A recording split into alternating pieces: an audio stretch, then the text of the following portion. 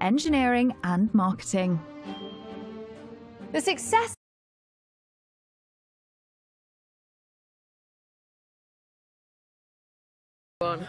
Surely. Before the pandemic, the cruise industry was worth over £100 billion.